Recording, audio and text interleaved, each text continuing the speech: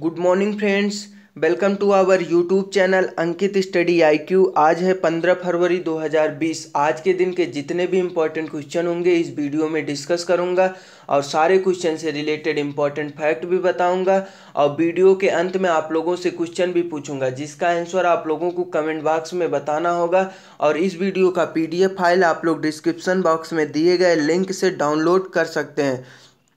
तो आइए स्टार्ट करते हैं आज के पहले क्वेश्चन से। हाल ही में भारतीय चार्टर्ड अकाउंटेंट संस्थान का नया अध्यक्ष किसे चुना गया? तो अभी हाल ही में भारतीय चार्टर्ड अकाउंटेंट संस्थान का नया अध्यक्ष अतुल कुमार गुप्ता को चुना गया है। यानी कि इस क्वेश्चन का ऑप्शन नंबर बी सही है।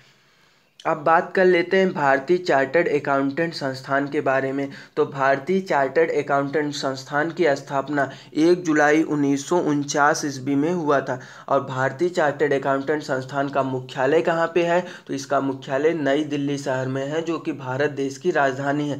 आगे बढ़ने से पहले आप सभी लोगों से निवेदन है, दोस्तों, अगर अभी तक आप लोग मेरे चैनल को सब्सक्राइब नहीं किए हो तो चैनल को सब्सक्राइब कर लीजिए और पास ही में लगे बेल आइकन बटन को भी प्रेस कर लीजिए, जिससे कि आने वाले नए वीडियो के नोटिफिकेशन आपके पास पहुँचते रहें। आज का अगला क्वेश्चन है, हाल ही में भारतीय बैंक संघ द्वारा बैंकिंग प्रौद्योगिकी 2019 के पुरस्कारों में प्रथम पुरस्कार किस बैंक को मिला है? तो अभी हाल ही में भारतीय बैंक संघ द्वारा बैंकिंग प्रौद्योगिकी 2019 के पुरस्कारों में प्रथम पुरस्कार साउथ इंडियन बैंक को मिला है, यानी कि इस क्वेश्चन का ऑप्शन नंबर सी सही है। अब अब यहाँ पर बात हुआ है साउथ इंडियन बैंक का तो साउथ इंडियन बैंक के बारे में जान लेते हैं। साउथ इंडियन बैंक को टेक्नोलॉजी के इस्तेमाल की श्रेणी में सबसे अधिक ग्राहक आकर्षित करने में विजेता बना है। साउथ इंडियन बैंक का मुख्यालय केरल के थ्रिसूर शहर में है, और वर्तमान समय में साउथ इंडियन बैंक के सीईओ का नाम वीजी मैथ्यू है। भारतीय बैंक संघ यहाँ पर एक नया टर्म आया है तो इसके बारे में भी जान लेते हैं। भारतीय बैंक संघ के चेयरमैन रजनीश कुमार हैं और भारतीय बैंक संघ के सीईओ सुनील मेहता है और भारतीय बैंक संघ का मुख्यालय मुंबई शहर में है, जो कि महाराष्ट्र राज्य की राजधानी है। और भारतीय बैंक संघ की स्थापना सन 1946 ईस्वी में हुआ था। आइए चलते हैं आज के अगले क्वेश्चन की तरफ़। आज का अगला क्वेश्चन है, हाल ही में प्रवासी भारतीय केंद्र दिल्ली का नाम बदलकर किसके नाम पर रखा गया? तो अभी हाल ही में प्रवासी भारतीय केंद्र दिल्ली का नाम बदलकर सुषमा स्वराज जी के नाम पर रखा गया है। यानी कि इस क्वेश्चन का ऑप्शन नंबर ए सही है। अब बात कर लेते हैं सुषमा स्वराज के बारे में। सुषमा स्वराज भारत की पहली पूर्ण, पूर्णकालिक विदेश मंत्री थी, जिनका अब निधन हो गया है। यह बीजेपी पार्टी के नेता थे। अब यहाँ से क्वेश्चन और बन सकता है कि प्रवासी भारतीय दिवस कब मनाया जाता है? तो प्रवासी भारतीय दिवस हर साल 9 जनवरी को मनाया जाता है। अब यहाँ से आप लोगों को एक क्वेश्चन और याद रखना है।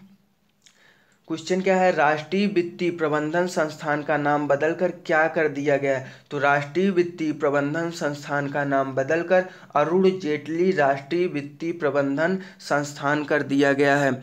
आइए चलते हैं आज के अगले क्वेश्चन की तरफ़। आज का अगला क्वेश्चन है हाल ही में राष्ट्रीय उत्पादकता दिवस 2020 कब मनाया गया? तो अभी हाल ही में राष्ट्रीय उत्पादकता दिवस 2020 12 फरवरी को मनाया गया। यानी कि इस क्वेश्चन का ऑप्शन नंबर ए सही है। अब यहाँ से क्वेश्चन और बन सकता है कि राष्ट्रीय उत्पादकता दिवस किसके द्वारा मनाया गया है? तो राष्ट्रीय उत्पादकता दिवस भारतीय उत्पादकता परिषद, यानी कि नेशनल प्रोडक्टिविटी काउंसिल के द्वारा मनाया जाता है। राष्ट्रीय उत्पादकता परिषद के महानिदेशक अरुण कुमार झा हैं। आइए चलते हैं आज के अगले क्वेश्चन की तरफ़। आज का अगला क्वेश्चन है, हाल ही में किस कंपनी ने पहले सेफ्टी नामक सार्वजनिक जागरूकता पहल की घोषणा की है? तो अभी हाल ही में गूगल इंडिया ने पहले सेफ्टी नामक सार्वजनिक जागरूकता पहल की घोषणा की है। यानी कि इस क्वेश्चन का ऑप्शन नंबर ए सही है। इस पहल के द्वारा लोगों को इंटरनेट का उपयोग करते समय सुरक्षा उपायों के बारे में बताया जाएगा। गूगल इंडिया ने सिक्योरिटी चेकअप और पासवर्ड चेकअप नामक शक्तिशाली टूल भी लॉन्च किया है। अब यहाँ पर बात हुआ है गूगल इंडिया का तो गूगल के बारे में जान लेते हैं। गूगल के सीईओ वर्तमान समय में सुंदर पिचई हैं और गूगल की पेरेंट कंपनी है अल्फ़ावेट कारपोरेशन, जिसके सीईओ सुंदर पिचई ही हैं। और गूगल का मुख्यालय यूनाइटेड स्टेट्स के कैलिफ़ोर्निया प्रांत के माउंटेन व्यू शहर में है। और गूगल के संस्थापक कौन है? तो गूगल के संस्थापक लैरी पेज हैं और सरजी ब्रिन। आइए चलते हैं आज के अगले क्वेश्चन की तरफ़। आज का अगला क्वेश्चन है हाल ही में जलवायु परिवर्तन पर अंतर्राष्ट्रीय सम्मेलन क्लिम फ़िश कोन 2020 का आयोजन किस राज्य में हुआ है? तो अभी हाल ही में जलवायु परिवर्तन पर अंतर्राष्ट्रीय सम्मेलन क्लिम फ़िश कोन 2020 का आयोजन केरल राज्य में हुआ है। यानी कि इस क्वेश्चन का ऑप्शन नंबर सी सही है। अब यहाँ पर बात हुआ है केरल राज्य का तो केरल राज्य के बारे में जान लेते हैं। केरल राज्य के राज्यपाल का नाम आरिफ मोहम्मद खान है और यहाँ की राजधानी तिरुअनंतपुरम है और यहाँ के मुख्यमंत्री पिनराई विजयन है। और केरल राज्य के मुख्य न्यायाधीश का क्या नाम है? तो केरल राज्य के मुख्य न्यायाधीश का नाम एस मणि कुमार है। और केरल राज्य में लोकसभा सीटें बीस हैं। राज्यसभा सीटें कितनी हैं? तो केरल राज्य में राज्यसभा सीटें नौ हैं। और केरल राज्य का महत्वपूर्ण त्यौहार क्या है? तो केरल राज्य का महत्वपूर्ण त्यौहार ओणम है। इसके अलावा केरल के कोच्चि शहर में भारत अंतर्राष्ट्रीय समुद्री उत्पाद सम्मेलन का भी आयोजन हुआ है। केरल के कोच्चि शहर में समुद्री पारिस्थितिकीय तंत्र पर वैश्विक बैठक का आयोजन हुआ है। ग्लोबल इन्वेस्टर मीट 2020 का भी आयोजन केरल के कोच्चि शहर में ही हुआ है।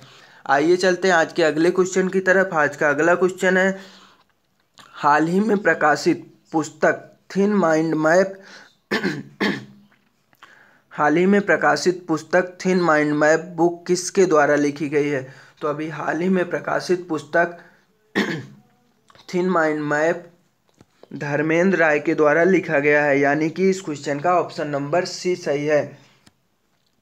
आइए चलते हैं आज के अगले क्वेश्चन की तरफ़। आज का अगला क्वेश्चन है हाल ही में विश्व रेडियो दिवस 2020 कब मनाया गया? तो अभी हाल ही में विश्व रेडियो दिवस 2020 13 फरवरी को मनाया गया है। यानी कि इस क्वेश्चन का ऑप्शन नंबर सी सही है। यह दिवस हर साल तेरह फरवरी को संयुक्त राष्ट्र के द्वारा मनाया जाता है।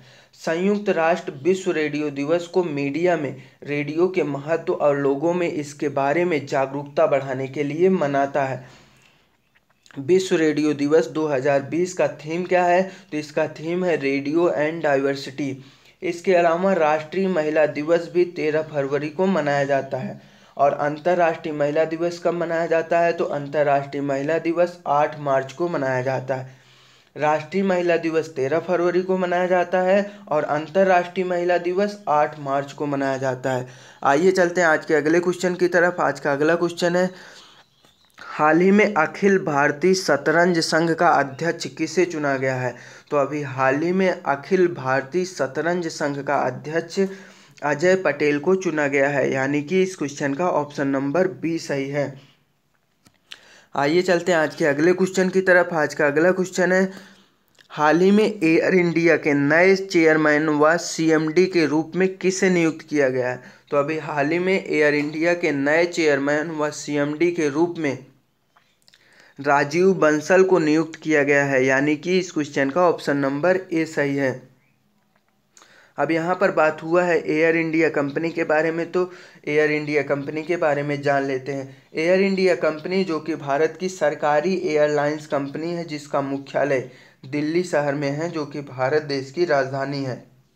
और दिल्ली में अभी हाल ही में विधानसभा चुनाव हुआ है। विधानसभा चुनाव में टोटल सत्तर सीटें थी दिल्ली में, जिसमें आम आदमी पार्टी ने बासठ सीट जीत लिया है।